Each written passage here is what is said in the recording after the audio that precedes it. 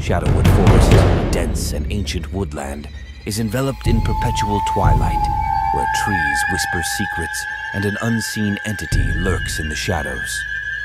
Deep within the forest, a secluded glade exists, where the trees seem to move on their own,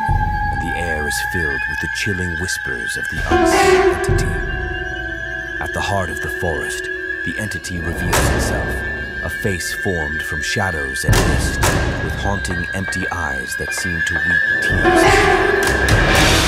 In the moonless night, a circle of daring souls gathers in the forest to summon the entity, seeking answers to an age-old mystery that binds their fate to